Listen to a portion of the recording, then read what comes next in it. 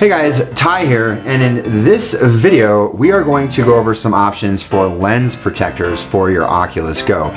If you're not using something as a lens protector, anything, you should be. So, I mean, if you set this in a place where sunlight might be passing through the house, just a couple of seconds of sun coming through these lenses will damage the screen. These are like high-powered magnifying glasses, and they will literally physically fry your screen.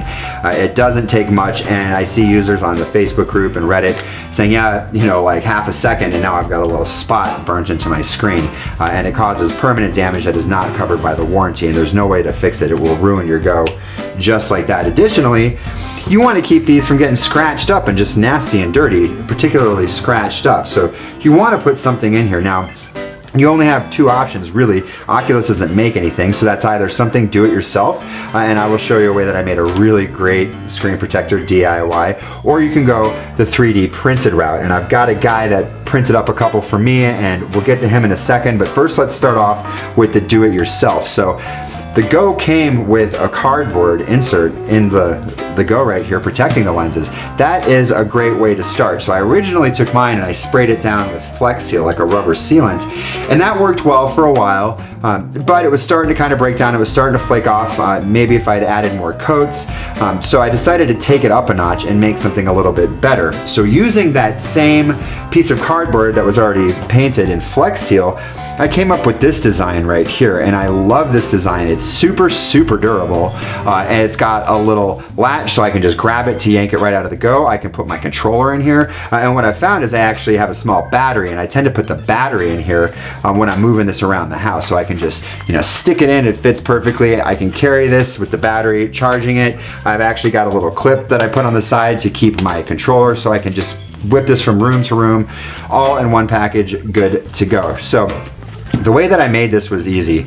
I went to Joann's Fabric and I bought one sheet of this like two millimeter foam and it's this black foam right here and it was like I think 89 cents.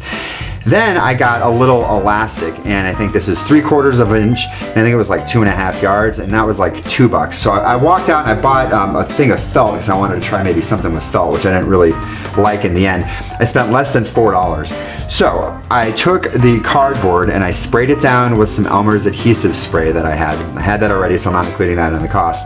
Uh, and then I glued it to one uh, bit of foam right here and then I just took a razor and I traced around. This is stuff cuts really easily with a razor blade. So I traced around it and cut it and then I had one side covered with the foam the other side was still the cardboard. I then just took a length of this elastic about yay long, cut a slit into the center right here, and you gotta actually do two slits right next to each other, and then kind of punch them out to make it wide enough for this to fit. Then I just fed it through a little over this way, a little bit over this way, some more Elmer's adhesive underneath the flap of this uh, elastic material to kind of glue it into place, just a little bit, kind of got it stuck in. And then I sprayed the whole thing, stuck it to the foam again, traced it out so you can't even tell that there's elastic behind here and it's it's stuck super super super tight and then putting it in and out is just you know you just stick it in bam you're good to go when you want it out you just pull it out super super easy super convenient it's really really lightweight uh, and I've been using this now for oh, maybe a week and a half, two weeks, and it has been super durable. So I think this is gonna last the lifetime of my Go. Now, let's move in to the 3D printed stuff. Now this stuff looks professional, it is professional. It's much, much higher quality. So a user on Facebook and the Facebook Oculus group uh, was posting, hey, if you guys want these things 3D printed, I'll print them for you. Uh, and he charges $25 for the ones made out of PLA, which is just a type of 3D printing material. Um, and then there's another one called PETG, which is a, a higher quality print material, and he charges 35 bucks for those, and that includes shipping. The difference is really that the PETG uh, is very, very heat resistant. So the PLA, if I were to stick this on my dashboard uh, in the sun, it might warp, uh, you know, so it is susceptible to damage from heat and warping, whereas the PETG is not. Um, and to be honest, I'm not sure which one's which right here. Uh, so one of these could warp, the other one but I'm not gonna put this in my car. Um, I asked him, are people worried, you know, I'm not gonna leave this sitting on my dashboard. And he said, yeah, some people want that, that, that better material. So I was like, okay. And then he was nice enough to actually print a couple of these uh, for me and send them to me. And I'm gonna include all of his information down in the comments or down in the description below so that you guys can reach out to him and there will be an email and a phone number and he'll pop these out for you, get them to you in just a few days and the cost does include shipping. Now, there's two different versions. There's like this version right here which has Oculus Go printed across the top and then the holder for your controller goes up a little bit higher like that. And then there's this version which I've modded a bit because I wanted the stretchy thing instead of the plastic where the plastic just goes right in the middle. So the holder for it goes right in the middle. Now I keep my controller in a silicone sleeve which I love and I'm not gonna get rid of this. And it didn't really fit initially so I had to take this and I had to sand it out. And I just I was using sandpaper and it was fairly hard material and was taking forever. So I just took a Dremel and, and then smoothed it out with some sandpaper. And now this fits like that. However uh, in uh, my case I needed it to be like more flexible and, and, it needed to go up higher than even this would be uh, just because of the way my case works. And like with this cover that I made, uh, the lens protector I made, I realized that I like to sometimes just stick a battery or something else inside of the Go right there. So I did exactly the same with this as I did with this. I just cut a strip of the elastic, I fed it through here, I took the exact same foam that I made out of this, and I spray adhesive in there like that, cut it around like yo, you can't even tell that the elastic goes inside like this, and then this I will show you is a perfect fit and it's just so sturdy. So there, it fits inside of it like that. I mean, it's nice being able to like pick your go up and just grab it. You're not gonna worry about hitting those lenses uh, like that. Um, and now it doesn't actually hit the lenses. There's some, a fair amount of clearance uh, and there's a little bit more clearance with this VR covers uh, facial interface versus the regular. It's, it's a little bit tight for me in here, but it fits like a glove with your stock interface, but it works well with this one too. And then I just kind of am careful when I pull it out not to remove or pull on the uh, facial interface here, the velour foam.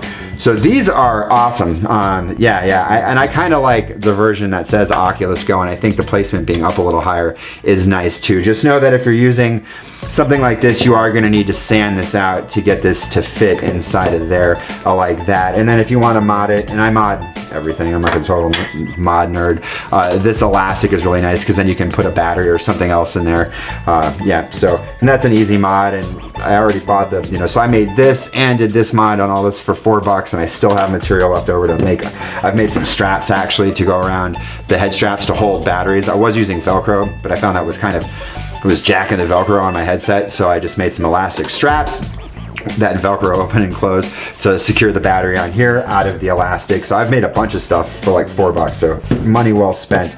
So yeah, that's what I recommend. Um, I'm gonna use both of these. You're like, well, why would I want these if you've got these? I like this just for around the house. It's quick, it's easy. Um, but if I'm gonna like travel and I'm gonna like put this thing into my case and I'm going, you know, on a plane or I'm traveling with it, I'm gonna want like really, really make sure there's good protection. If something happens and my Go case gets slammed, something smashes into this, I wanna make sure that there's hard plastic inside of this. So there's room uh, in my life for uh, both of these uh, covers right here. So I'm definitely gonna be using this uh, when I go out of the house and this is just my around the house everyday cover right there. It is a little bit easier to get in and out for me because I do have the thicker faceplate. Okay, so that's that. Uh, that's just my two cents. If you guys have any ideas, how have you made your lens protectors. I'm sure you've come up with some creative ways to make your own. Comment down below, let us know. Maybe post a, a link to an Imgur picture of it. Uh, share your ideas with us. If you have any questions, ask in the comments down below. Everybody here is happy to help. Uh, as always, please give the video a thumbs up. That really does help the channel. Uh, if you're interested in this stuff, hit the subscribe button, hit that bell button to get notified. I post this sort of content fairly frequently. And that is that. I will see you guys in the next video. Thanks.